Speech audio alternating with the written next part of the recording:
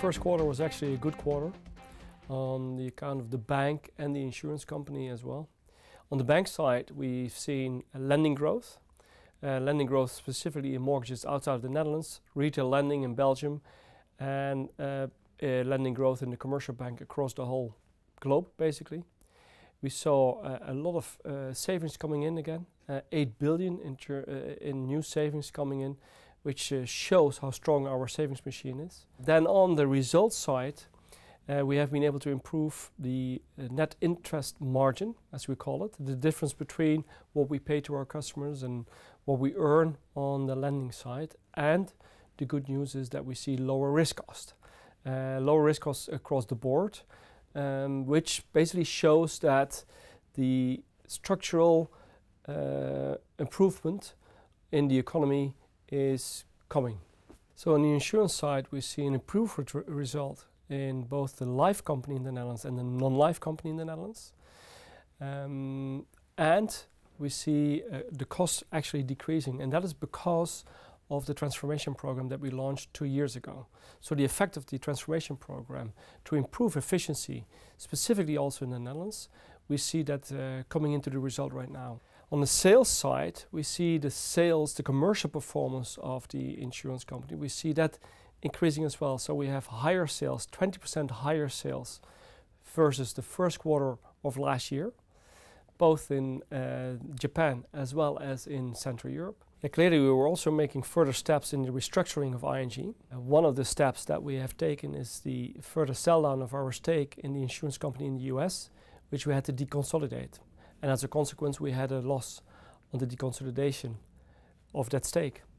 On top of that, we took another step in uh, making the pension fund in the Netherlands further independent from ING going forward, which is also important as part of the split of the bank and the insurance company. And we had to make a one-time payment in order to make it independent.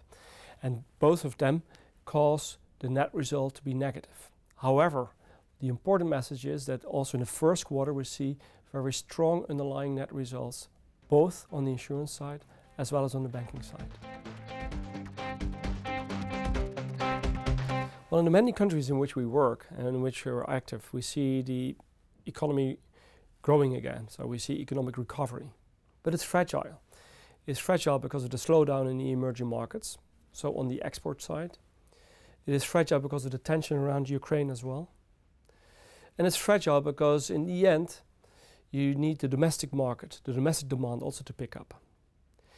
And that really depends on how the labor markets will develop. Because unemployment is always one of the signals, uh, the decrease of it is a signal of economic recovery because you can predict then demand to come back. And it really depends on how that develops going forward. But we're generally positive but fragile. Also on the restructuring side for ING Group, we've made a lot of progress.